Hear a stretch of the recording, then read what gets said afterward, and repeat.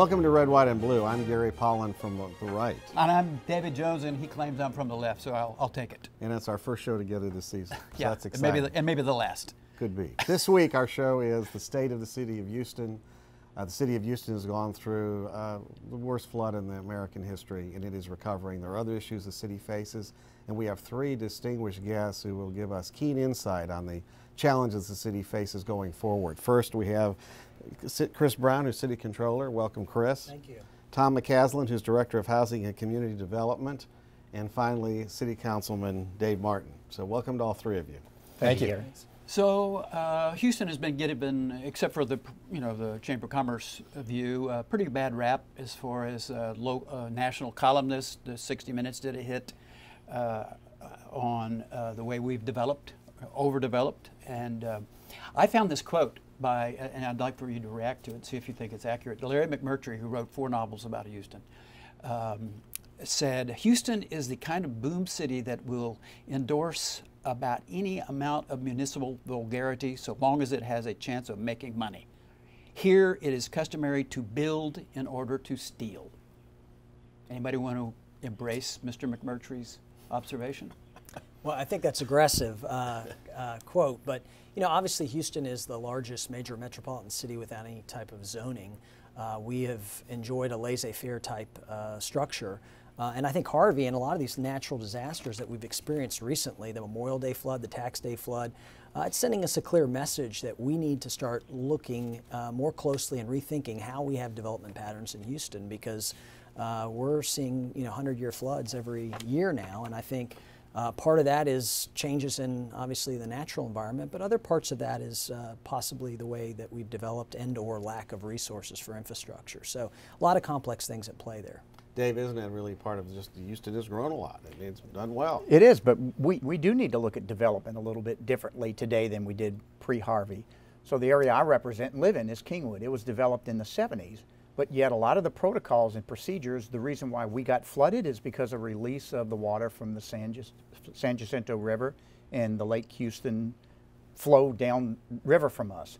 Um, and one of the things that we need to look at is protocols and procedures because when they would develop, they would develop before Kingwood was even built. When it was King's Ranch, nothing but forest and trees. So uh, the San Jacinto River Authority, who made that decision on that infamous day during Harvey, we need to look at development in Montgomery County, not only in Harris County, but all the surrounding areas. So you would say it's more of, it's a regional problem as opposed to like a city of Houston problem. It, it's absolutely a regional problem. The city of Houston's a big part of that region, so we need to be a leader in the space. But you know, again, as a city controller and someone that looks very closely uh, at the finances, we won't, we don't want to do something that's so restrictive that it were, you know, possibly to kill, especially after a storm of this magnitude. We sure don't want to do anything that's so restrictive that people start saying, well, we can't develop in Houston, we can't build in Houston anymore. There's a balance there, and we need to work to find that balance. And so, so to take that Larry McMurtry quote and turn it on its head, I think that it's true that if you can make the business argument for anything, Houstonians will buy into it.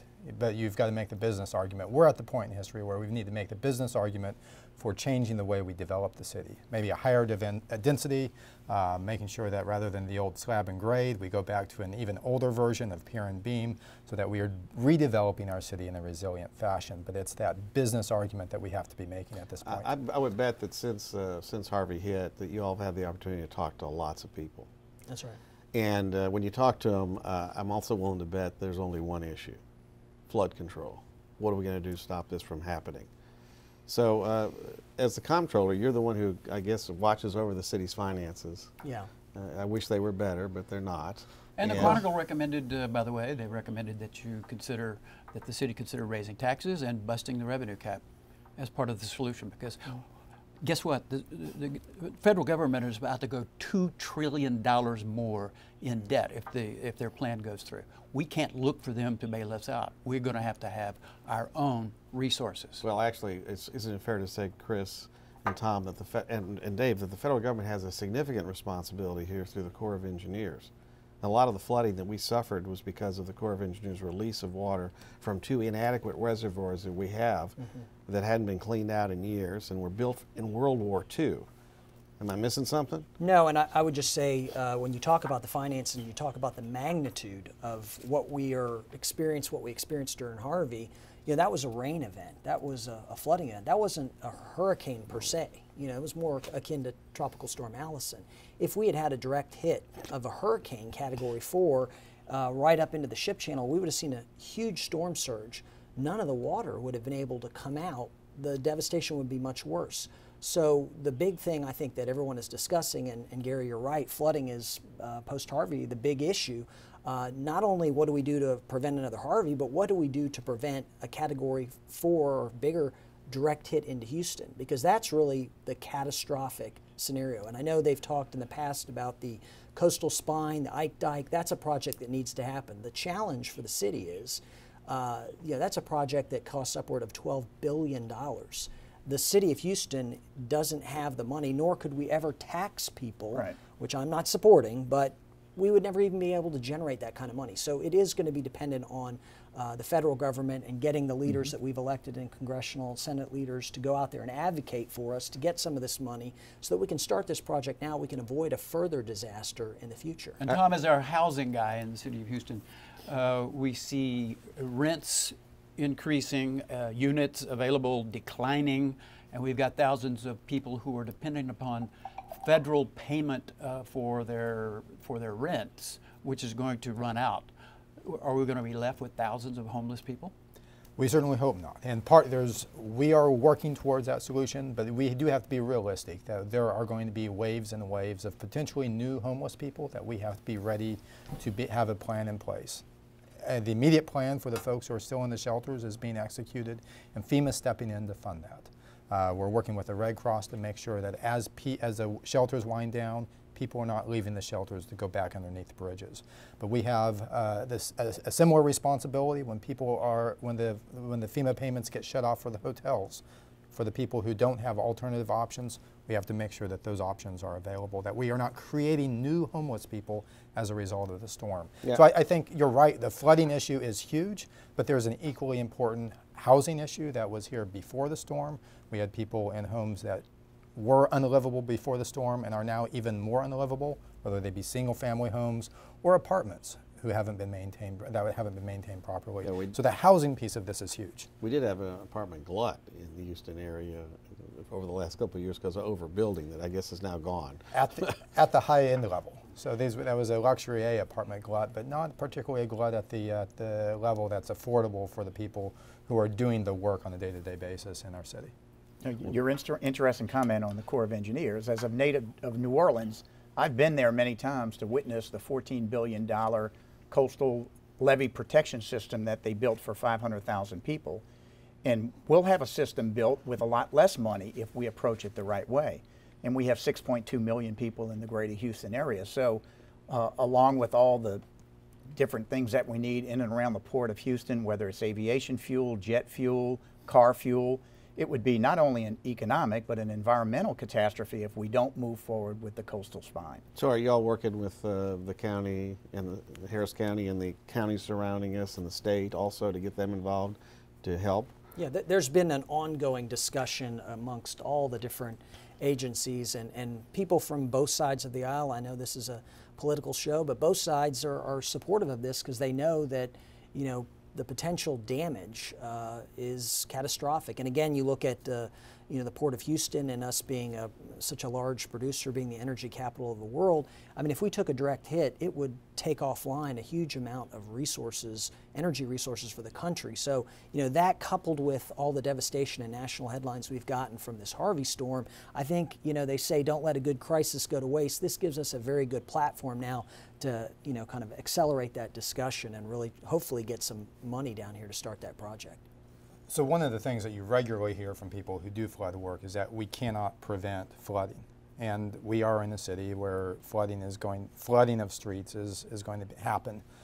But I think that we've been way too accepting of the fact that every time we have a heavy rain, people die in the city, nearly every time and not at the numbers that they died during Harvey. But when we get a heavy rain here, people either drive into uh, flooded areas or, or they get swept into flooded areas and they die. We should not be a city that's like that. I think as a city, we should at least adopt a modest commitment that we're going to have the flooding infrastructure necessary so that people don't die every time there's a heavy rain. Yeah, that sounds like an admirable idea. And those are billion dollar expenses. I can give you a solution right now that would help the residents on the northeast side in Kingwood, Atascocita, Huffman, and that is the level of water that is maintained in a water reservoir called Lake Conroe is at 201 feet above sea level.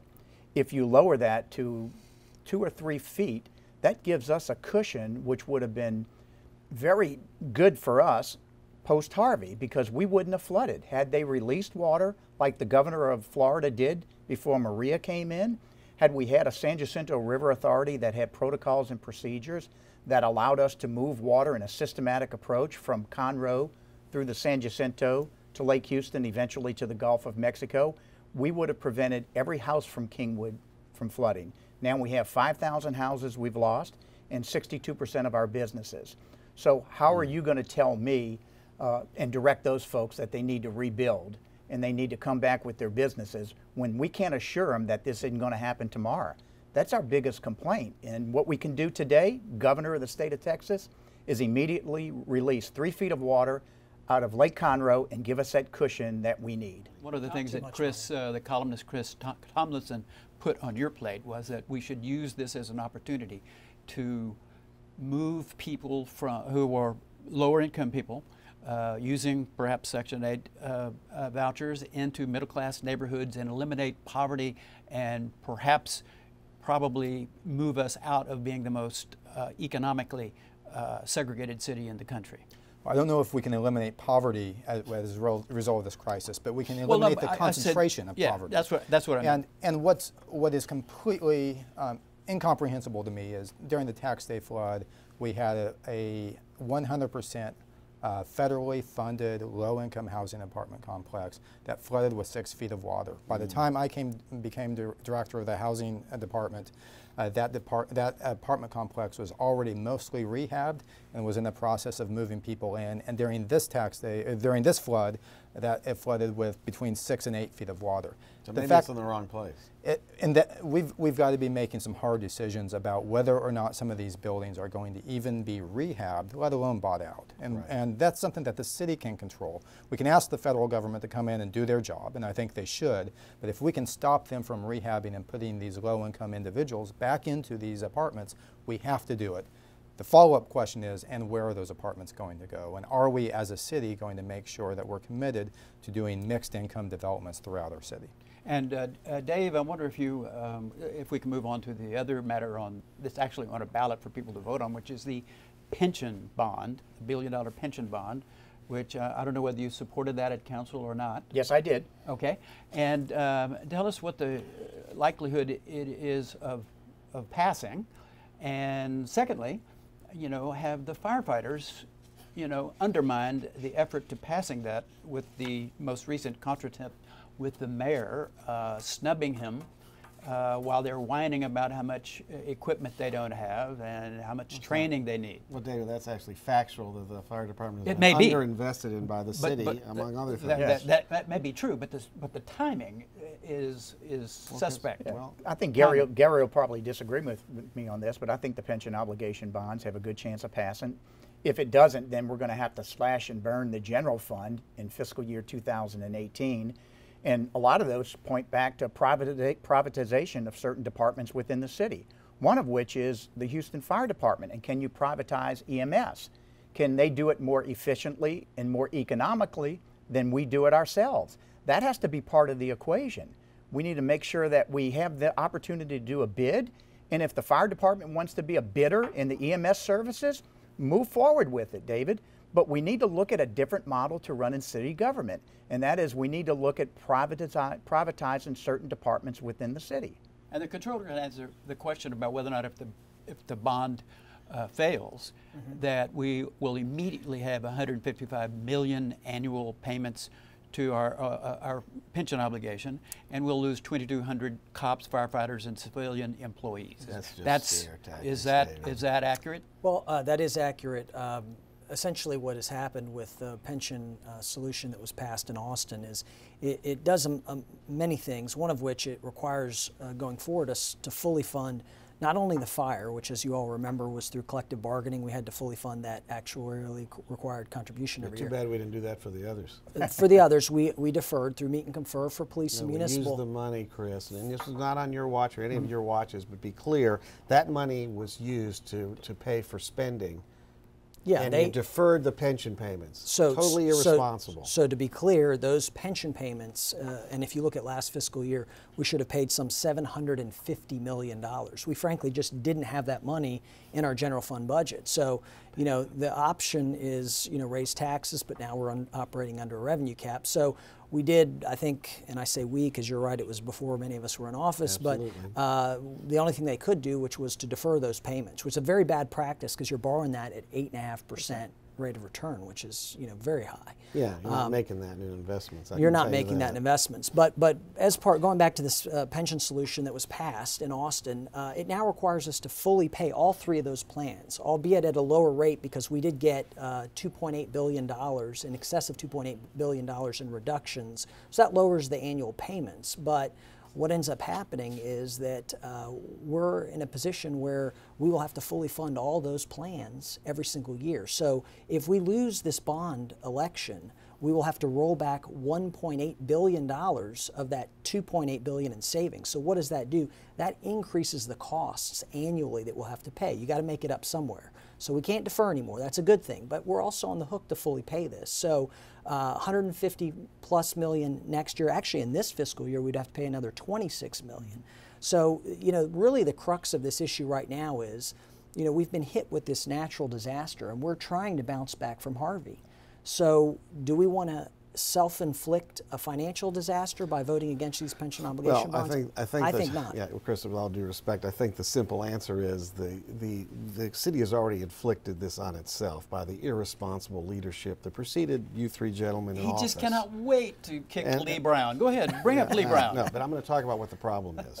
I did a little disagree. calculations today before I came, and it found we have a double A plus rating. The average rate that we'd have to pay for bonds if they issue in the next week or two, 3.05 percent for 30 years.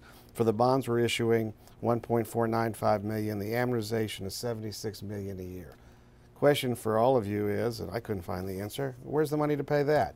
Bottom line is last spring we were down 112 million. We had to do smoke and mirrors to balance the budget. So we have a budget crisis regardless of what happens because of the irresponsible in what you all inherited. It's a train wreck. The truth is, all these pensions are never getting paid. You have not you have not told the truth to the people, but the money's not going to be there. You would have to double or triple property taxes to dig out of the hole that this city has dug itself into.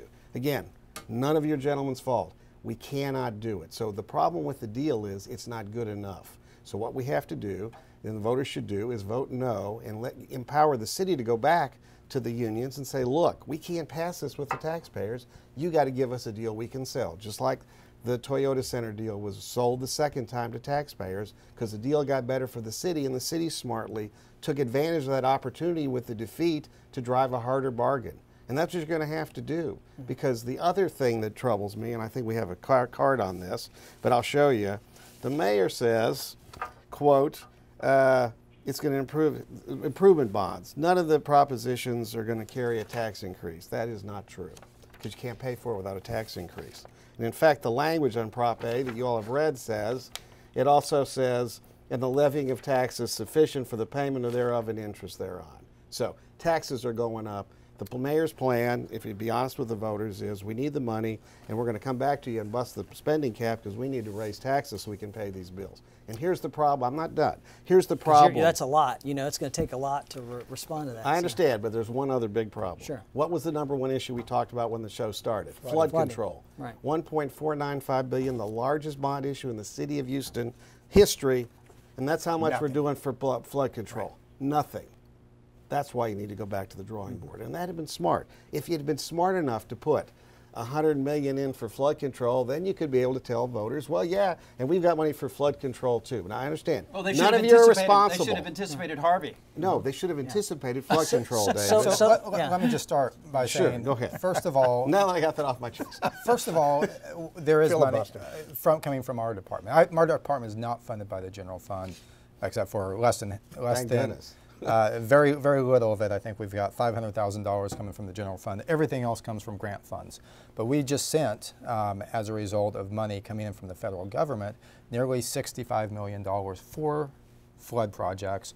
Um, part of that is going towards bar, buyout, part of that is improvement. So if there's nearly your 100 million right there in terms of work, and there's more to come as a result of the funding that's coming from both the 2016 floods and, and the flooding from Harvey. So to say that there's nothing coming, the Well, question not from is, the bond issue. um, is, is there is money out there. Yeah, but that's, that's, that's, that's chicken feed. if you- Because the cost of current projects that we need in the region is like over a billion dollars. And the total cost of the projects we need in the region, Ike Dike and all the rest, Right. twenty billion. It's going to have to come from the federal government. It's going to have to State. come from the State. state. It's going to have to, you know, the You the can do all you want with parks. You can build community centers. But if they flood, what good do they do you? So the number one thing we need to look at is flood mitigation. What do we do today to make sure we don't have this event happen again?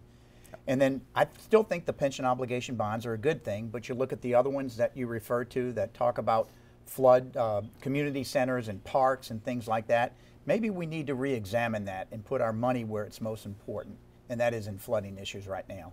For the folks that live on the northeast side in Kingwood and the area I represent, we don't care about the parks and community centers because they're going to flood.